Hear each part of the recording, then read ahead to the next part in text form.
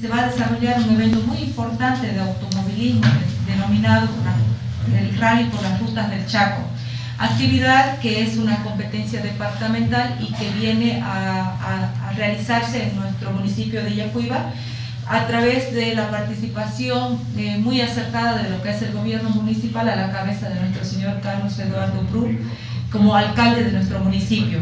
Este evento eh, se va a desarrollar el día sábado y el día domingo. Esta quinta competencia departamental denominada versión Carlos Eduardo Bru, a la cual el gobierno municipal, como, como conocen ustedes, apoya y fomenta este tema deportivo de una, de una manera muy fuerte, reactivando nuestra economía y la de nuestro municipio en especial. Queremos generar al margen de la fiesta tuerca automotor es pues una microeconomía diversa y de así de alguna manera podamos colaborar en reactivar nuestra economía departamental.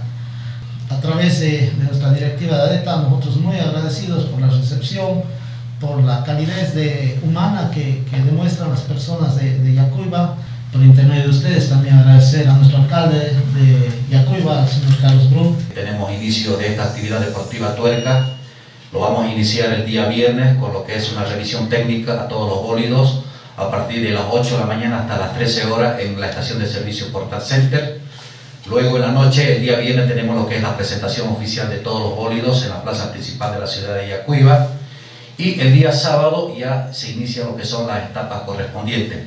Tenemos el inicio para que la población sepa y aquellos todos amantes de surgir de motores, el inicio de la competencia de este rally se va a iniciar en lo que es la comunidad de Yahuacua. El día domingo estaríamos concluyendo con las otras etapas y luego terminar en un enlace en el Autódromo Defensores del Chaco, que está eh, ubicado en la comunidad de Cañón Oculto.